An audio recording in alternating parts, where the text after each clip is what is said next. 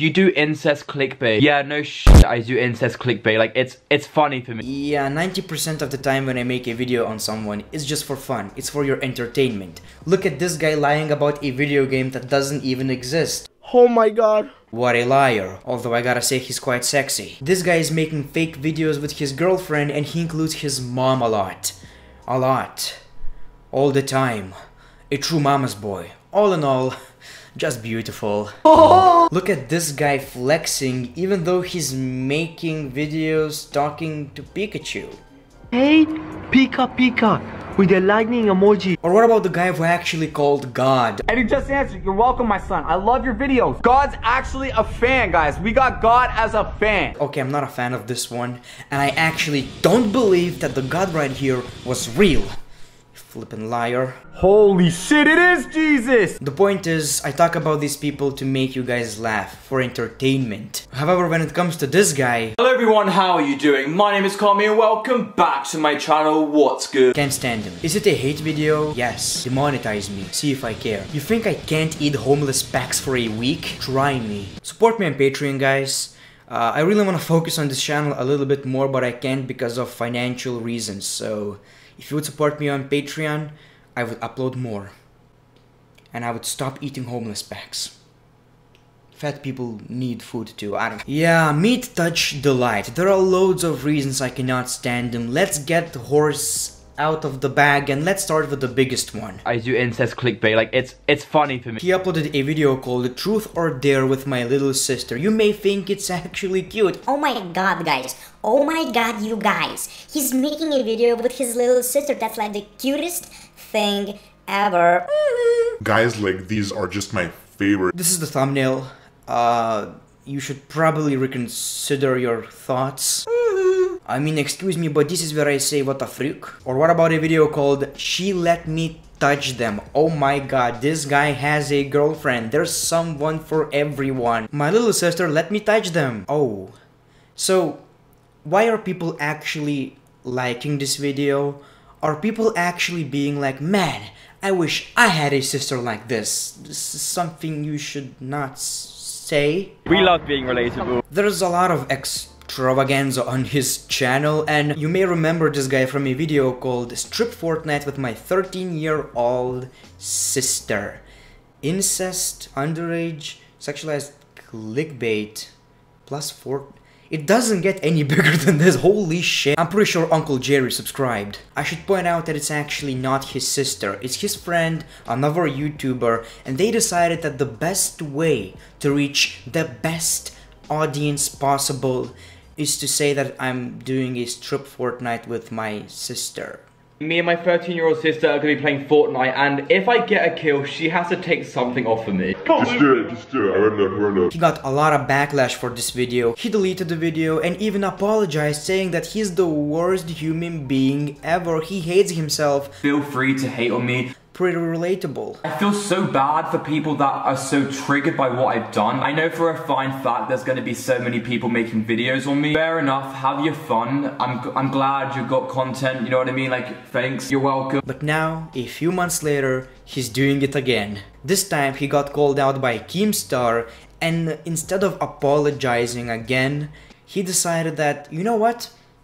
I'm, I'm a good guy right, right here. You're constantly posting weird videos. You do incest clickbait. Yeah, no shit. I do incest clickbait. Like, it's it's funny for me. I literally pretend my 18 year old friend is my sister and people literally get triggered about it. When people get triggered about my shit, I get money and I get views. Like, there's a reason I actually do it. All of you guys are just pussies. You don't understand. Like, you can't even take a joke, guys. The more triggered people I attract, the more money and clout I get. Like, think about it wisely. I have people like Keemstar constantly on my dick chatting shit to me. Keemstar, if you're watching, you're a massive pussy. Like, you're such a pussy. You are literally an old, ugly man chatting shit about people on YouTube. Like, you have nothing going for you. All of you people, like, you can't even take a joke, guys. Like, Keemstar is such a pussy, man. Like, he, he doesn't understand what we do right here. We Gucci. We Supreme and we Gucci right here, guys. Like, oh my god.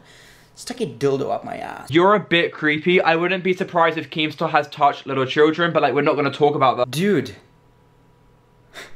This is the exact accusation that people would love to use against you. And they would be kinda right. And I know what you're thinking. You clickbait incest. Yeah, no shit. But like, ask me if I care. This video of him responding to Keemstar just proves that his first apology is just nothing more than just him trying to save his ass. Just another example of YouTubers being sorry because they got caught. Now, I don't think people's channels should get terminated, but we see normal people getting deleted off YouTube, well then why am I seeing this in my recommended all the time? I'm not into it. Now of course that's not the only reason I cannot stand this guy, his videos are just they're just bad. I watched a few of them and oh boy are we dealing with the most annoying person on the planet. I've been super drunk all day and now I'm filming a video so I guess you can say I'm drunk, haha raw XD. Isn't that just the most annoying thing in the world? You can say I'm drunk, haha raw XD. I hate this guy. Imagine carrying a baby for 9 months and this is what you hear. You can say I'm drunk, haha raw XD. I wanna bully this guy. I, I really cannot stand him. He uploads the most crazy shit I've ever seen. I want to show you this old video of him called My Morning Routine. Why?